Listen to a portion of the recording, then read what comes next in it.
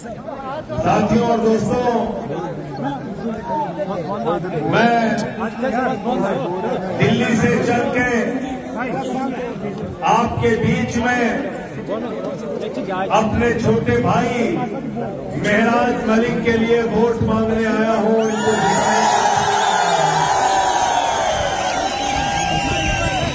और आया हूँ अरविंद केजरीवाल का पैगाम लेकर अरविंद केजरीवाल का सलाम लेकर आया हूँ आपसे कहने के लिए कि जो मॉडल दिल्ली में शिक्षा और स्वास्थ्य का दिया जो स्कूल और अस्पताल दिल्ली में बने, वो जम्मू कश्मीर में बनना चाहिए।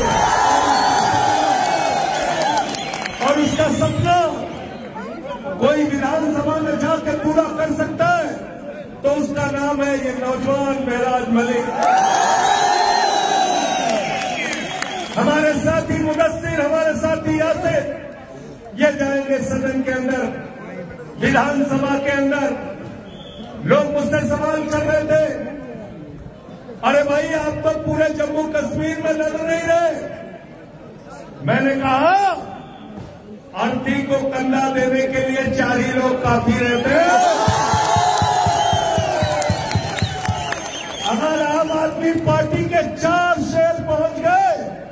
तो जम्मू कश्मीर की विधानसभा में जमहूरियत को बचाने की लड़ाई होगी। जम्मू कश्मीर की विधानसभा में बच्चों का स्कूल बनाने की लड़ाई होगी।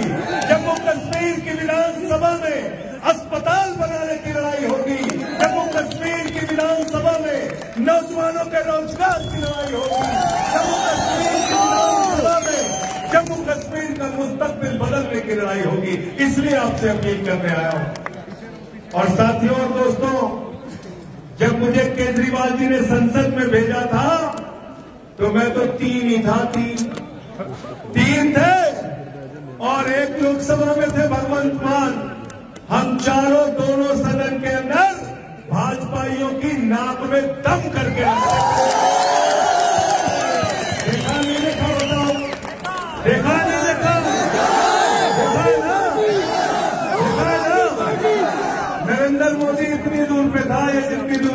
झंडा दिख रहा सदन के अंदर भाषण देने के लिए खड़ा हुआ।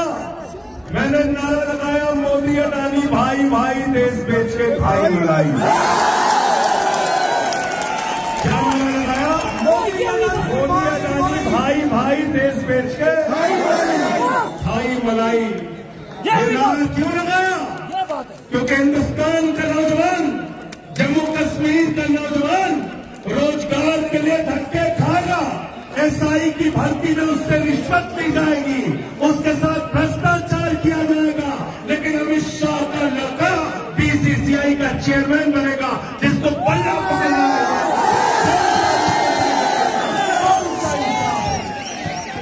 कौन सा इंसाफ? है तेरा बताओ? इस देश के अंदर जमहूरियत का कत्ल किया जा रहा है। राज्य सरकारों के अधिकार छीने जा रहे हैं। एक ऐसी पार्टी दिल्ली में अरविंद केजरीवाल की अगुवाई में सरकार में आई। अरविंद केजरीवाल ने कहा, हम बच्चों के लिए स्कूल बनाएँगे, अस्पताल बनाएँगे, फ्री इलाज दिया, फ्री शिक्षा दिया, फ्री बस की यात्रा महिलाओं के लिए दिया, बिजली फ्री, पानी फ्री, सब कुछ फ्री और मुनाफे का बजट दिया। हिंदुस्तान की आदमी पार्टी आम आदमी पार्टी।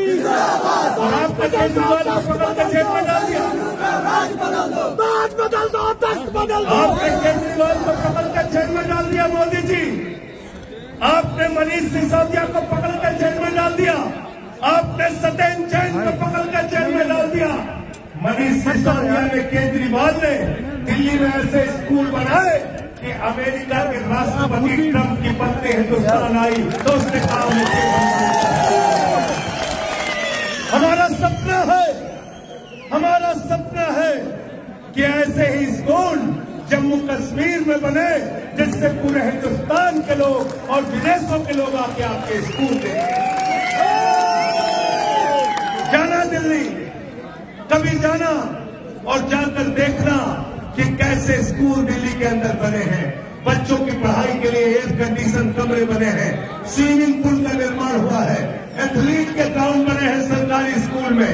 हॉकी के ग्राउंड बने हैं सरकारी स्कूल में। जहाँ मकड़ी के जाले लगे रहते थे। टाट पट्टी पर बच्चे बैठ के पढ़ते थे। बच्चों के लिए टॉयलेट का इंतज़ाम नहीं था। उन स्कूलों को बदलने का काम केजरीवाल ने किया। मनीष सिसोदिया ने किया और मोदी ने उनको पकड़ के जेल में डाल दिया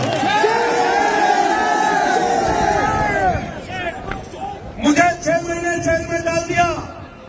मैंने नरेंद्र मोदी जी से कहा, मोदी जी, एक नहीं, एक हज़ार पाँच जेल में डालोगे, लेकिन तुम्हारे आगे छूटेंगे नहीं, तुमसे लड़ेंगे। तुमसे लड़ेंगे और तुमसे जीतने का काम करेंगे। साथियों और दोस्तों, मैं आप लोगों से हाथ जोड़कर विनती करने के लिए आया हूँ। हमारे इस छोटे भाई को इस बार विधानसभा में ज़रूर भेजना। ज़रूर भेजना। ज़रूर भेजना। बिल्कुल ठीक कहा। मोदी जी आके कह रहे हैं, हम आपको पूर्ण राज्य दे देंगे। अभी क्या हुआ? अभी पेट में दर्द क्यों हो रहा है? तुम्हारे कलम में स्याही नहीं हो तो हमसे 20 पैसे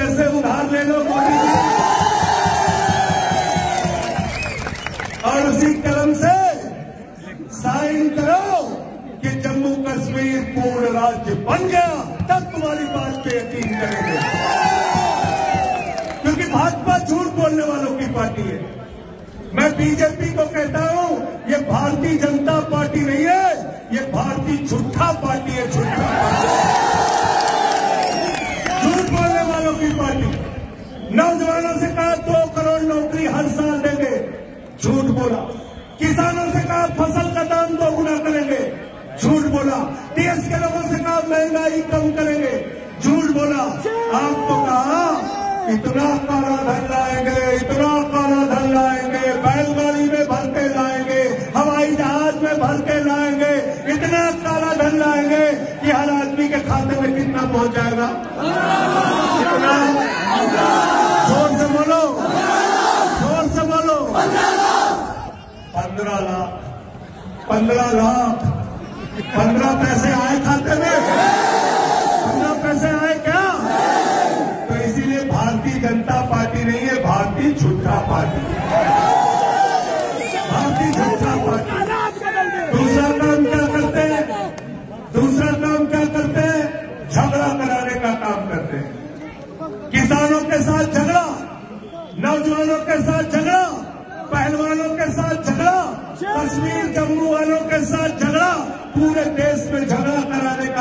करते हैं तो भाजपाइयों का दूसरा नाम मैंने रखा है, भारतीय झगड़ा पार्टी।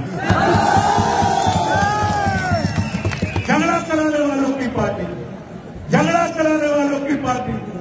और नरेंद्र मोदी के बारे में मैं कहता हूँ, होशियार रहना मोदी जी से। मोदी जी के अंदर कोई कला हो, ना हो, लेकिन गंजे को भी कंघी बेच सकते हैं। हैं बोलने में इतने मास्टर हैं। बोले, सिकंदर जब बिहार में आया था तो बिहारियों ने मार के भगाया था। सिकंदर कभी बिहार गया ही सिकंदर कभी बिहार गया नहीं। हमारे यहाँ यूपी में गए खलीलाबाद कहने लगे, संत कबीर, बाबा गोरखनाथ, बाबा गुरु नानक देव, एक साथ बैठ कर मीटिंग करते थे। पता लगा, तीनों लोगों के पैदाइश में ही कई कई सौ साल के अंदर। और मुसलमानों को डराने का काम करते हो। महराज मलिक अभी कह रहे थे, आपको डराने का काम करते हैं। मैं कहना चाहता हूँ नरेंद्र मोदी से, मैं कहना चाहता हूँ अमित शाह से, मुसलमान किसी से नहीं डरता। मुसलमान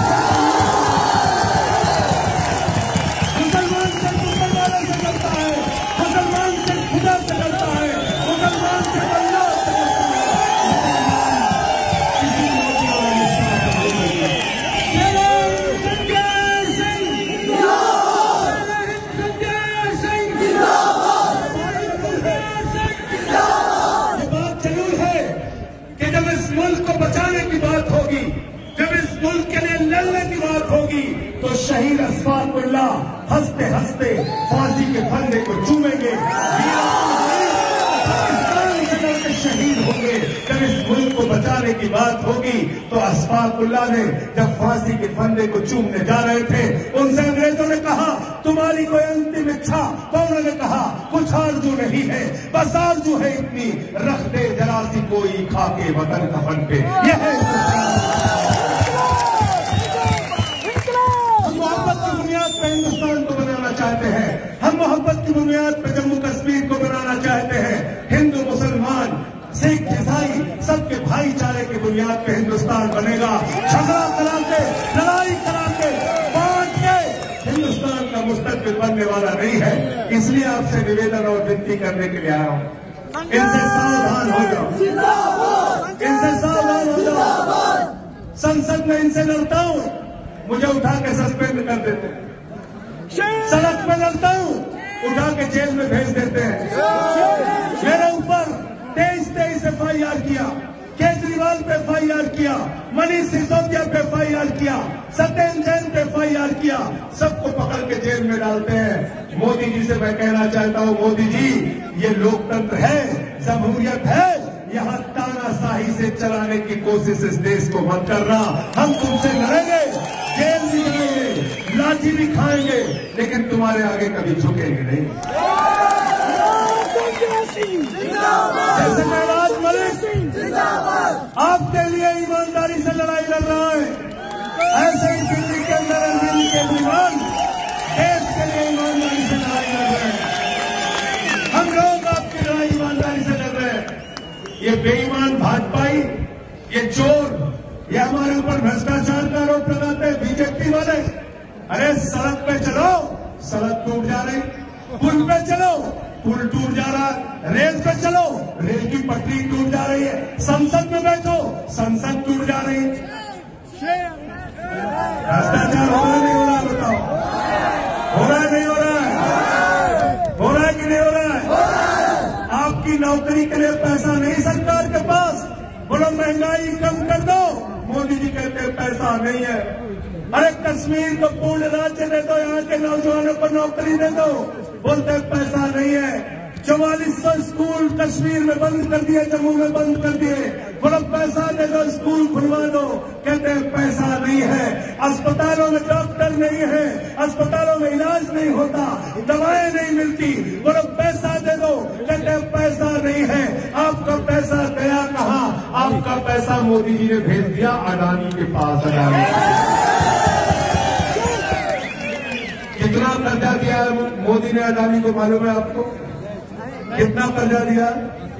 कितना कर्जा दिया? है ढाई लाख करोड़ रुपया। एक आदमी को कर्जा दिया है। ढाई लाख करोड़ रुपए एक आदमी को कर्जा दिया है। आपको ढाई लाख का कर्जा होता है, पकड़ के उठा के जेल के अंदर डाल देते हैं। ढाई लाख का कर्जा होता है तो उठा के जेल में डाल देते हैं। लेकिन ढाई लाख का करोड़ का कर्जा अपने दोस्त अडानी को दिया। नीरव मोदी हज़ारों करोड़ का कर्जा लेके भाग गया। मेहुल चौकसी हज़ारों करोड़ का कर्जा लेके भाग गया। जम्मू कश्मीर को जिन लोगों ने लूटा बेराज मलिक को भेजना विधानसभा के अंदर, और सुनना ये क्या बोल रहे हैं आपके?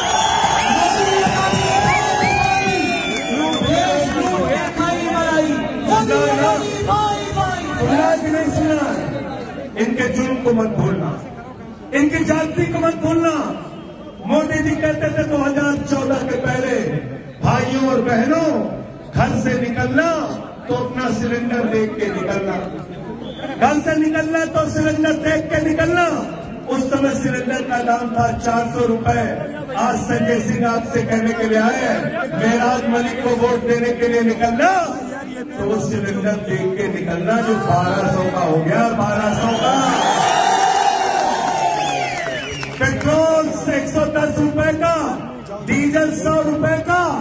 महँगाई को याद करके जब घर से निकलोगे तो याद क्या आएगी आपको? क्या याद आएगा?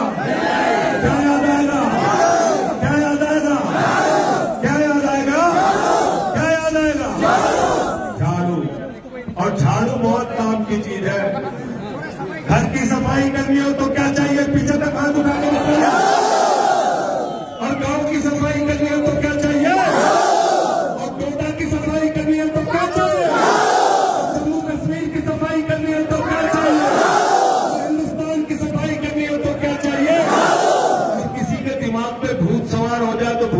के लिए क्या चाहिए? क्या चाहिए?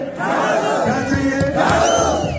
तो जो भाजपा वालों के दिमाग पर और यहाँ जो अलग अलग पार्टियाँ सत्ता में रही है, उनके दिमाग पर जो भूत सवार हो गया है, झाड़ू मार मार के मार मार के इनका भूत उतार। अरे बहुत खूबसूरत मुल्क है दोस्तों। बहुत खूबसूरत मुल्क है। बहुत अच्छा मुल्क है। यहाँ हिंदू मुसलमान सिख ईसाई सब मिलके रहते हैं। बगल का पंजाब है। वहाँ आम आदमी पार्टी की सरकार है झाड़ू वालों की। दिल्ली चले जाओ। झाड़ू वालों की सरकार है। अरे हमने तो गुजरात में भी 14 परसेंट वोट लेके पाँच सीटें जीतने का काम किया। हमने गोवा में भी साढ़े छह परसेंट वोट लेके दो सीटें जीतने का काम किया। आपसे झोली फहराकर हाथ जोड़कर विनती करने के लिए आया हो। जम्मू कश्मीर की विधानसभा में भी हमारे भाइयों को भेज देना। महराज मलिक को भेज देना। यासिर को भेज देना। मुनस्तर को भेज देना। या आपके मुद्दे को उठाने का काम करें। यहाँ का राज्यपाल, सत्यपाल मलिक, भारतीय जनता पार्टी के ऊपर आरोप लगा के गए कि 300 करोड़ रुपए की रिश्वत दो कंपनियाँ उनसे मांग उनको दे रही थी, काम लेने के लिए। यहाँ ठेका देने के बदले रिश्वत चल रही बेईमानी चल रही है। तीन लाख दो हज़ार करोड़ रुपए का ठेका। भाजपाइयों ने उन कंपनियों को दिया, जिनसे इलेक्टोरल बॉन्ड के नाम पे रिश्वत लेने का काम किया। बेईमानी तो मोहब्बत की बुनियाद पे, एकता की बुनियाद पे इन बेईमानों से लड़ना है। कोई भी धर्म नहीं सिखाता। आपस में लड़ाई करना, झगड़ा करना। हमारे रामचरित मानस में लिखा है, सब नर करही परस्पर प्रीति। सारे लोग आपस में प्यार से रहे। यह है हिंदू धर्म। सिख धर्म कहता है, लोगों की सेवा करो, लंगर करो, लोगों को गुरुद्वारे में सेवा करो। सिख धर्म की सेवा की शिक्षा देता है। और इस्लाम इस्लाम आपके नबी का नाम आज ईद उल मिलादुल नबी के मौके पे आप सबको मुबारकबाद देता हूँ हूँ। कि याद रखिएगा नबी के संदेश को। क्या कहते हैं आप? हज़रत मोहम्मद साहब सल्लल्लाहु अलैहि वसल्लम को क्या कहते हैं? क्या कहते हैं अपने नबी को? रहमतुल आलमीन पूरे आलम पर रहमत करने वाला।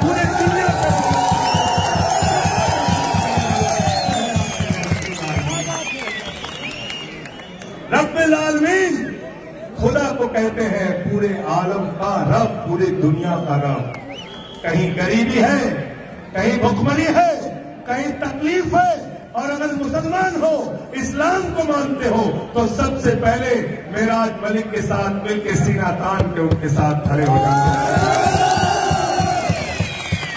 इसलिए साथियों, दोस्तों, जो लोग नफरत की आग में आपको झोंकना चाहते हैं जो आपस में आपको लड़ाना चाहते हैं, आम आदमी पार्टी के साथ जुड़िए। हम लड़ाई की बात नहीं करते, हम पढ़ाई की बात करते हम लड़ाई की बात नहीं करते, हम पढ़ाई की बात करते हैं, हम शिक्षा की बात करते हैं, हम इलाज की बात करते हैं, हम मोहल्ला क्लिनिक की बात करते हैं। और आपसे फिर दोहरा रहा हूँ, बहादुरों को विधानसभा में भेजो। जो कीरल आपकी आवाज़ नहीं उठा सकते, उनको भेजने से आपका कोई फ़ायदा तो क्या चुनाव निशान है आपका? क्या चुनाव निशान है आपका? और हमारे तीन साथी हैं। डोडा से हमारे साथी यासिर भाई हैं। इनके लिए भी एक बार जोरदार तालियाँ बजाइए। और बनिहाल से हमारे साथी मुदस्सिर भाई हैं, इनके लिए भी और जो वादा आपसे हमारे छोटे भाई महराज ने किया है, आठ तारीख को काउंटिंग पूरी होगी, इनको जिता देना केजरीवाल जी को हम लेके आएँगे हम लेके आएँगे केजरीवाल जी को। इसी जगह पे लाएँगे और जैसे आज मैदान भरा है ऐसे ही पीछे तक मैदान भर देना, ये पहाड़ियों तक लोग होने चाहिए। जिताओगे ना वादा करके जा रहे हो। मोदी वाला तो नहीं है। पक्का वादा। पक्का वादा है। तो इसलिए साथियों और दोस्तों, मैं अब प्रचार एक घंटे में खत्म हो जाएगा। इसके बाद घर घर चले जाइए, लोगों से कहिए, झाड़ू चलाना है, सबको देख लिया, इस बार झाड़ू वालों को देखना है, आम आदमी पार्टी को देखना है।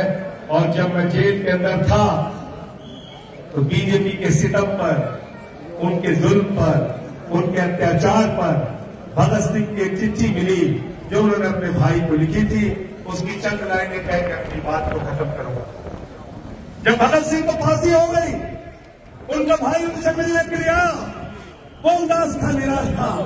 भगत सिंह ने अपने भाई गुलदार को चिट्ठी लिखी और अंत में लिखा, उन्हें ये फ़िक्र है हर दम नया तर्ज जफा क्या है? उन्हें यह फ़िक्र है। मैं बीजेपी के लिए, मोदी के लिए अमित शाह के लिए कहना चाहता हूँ।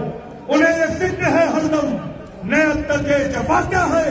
हमें भी शौक है देखे, सितम की इंतहा क्या है?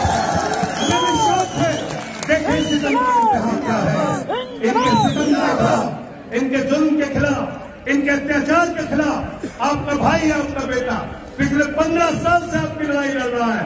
आज वक्त आ गया है जैसे आपने इसको जिला पंचायत के अंदर भेजा ऐसे ही जम्मू कश्मीर की विधानसभा में भेजना आपकी आवाज़ को उठाने का काम। विराट मलिक विराट मलिक विराट मलिक विराट मलिक विराट मलिक यासिर भाई यासिर भाई भगत सिंह भाई बहुत बहुत शुक्रिया बहुत बहुत धन्यवाद इनकलाब